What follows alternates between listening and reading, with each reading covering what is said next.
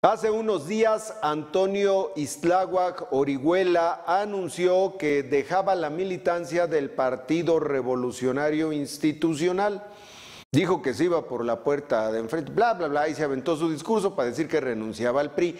Se comenzó a especular que Antonio Istláhuac se iba a incorporar a las redes sociales progresistas, a este partido político que tanto se ha dicho, bueno, tanto se vincula con el Baester Gordillo, que ya iba para allá este, Antonio Isláhuac.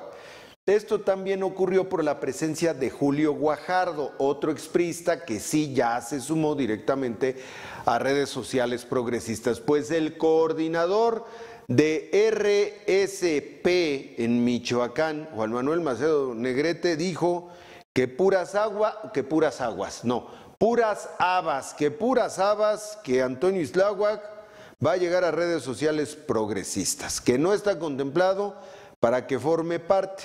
Que el perfil, miren nomás qué mandarriazo le acomoda, dice que el perfil de Antonio Isláhuac no empata, no le suma en nada a redes sociales progresistas. Pácatelas.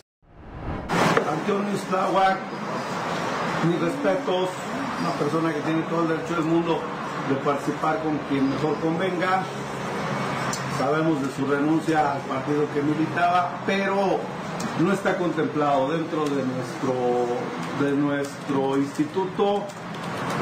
Podrá tener muchas características, pero las que nos pide hoy redes sociales progresistas no está considerado como, como una parte que venga a sumar.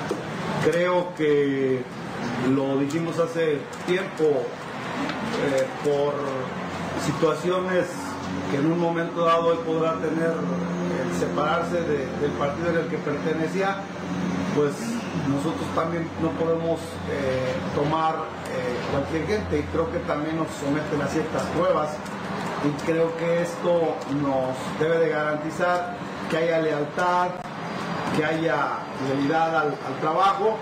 Y bueno, los prejuicios que en un momento dado puede mostrar, eso a lo mejor no nos, no nos satisface. Por hoy no está dentro de eso.